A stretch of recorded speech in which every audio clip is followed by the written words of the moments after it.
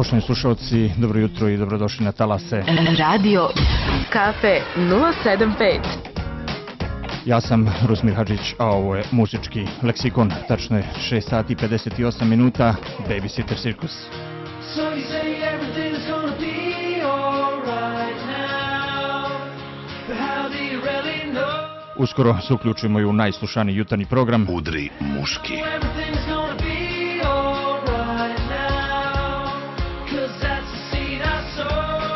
Babysitter Circus kažu everything's gonna be alright, a mi kažemo vrijeme je za Sarajevo. City Kameleon Moje ime je državni neprijatelj broj 1 i evo me ponovno na šetanoj frekvenciji. 101,2 Ovdje lovac 2, ovdje lovac 2. Udri muški. Cilj u sektoru 4, ponavljam, cilj u sektoru 4.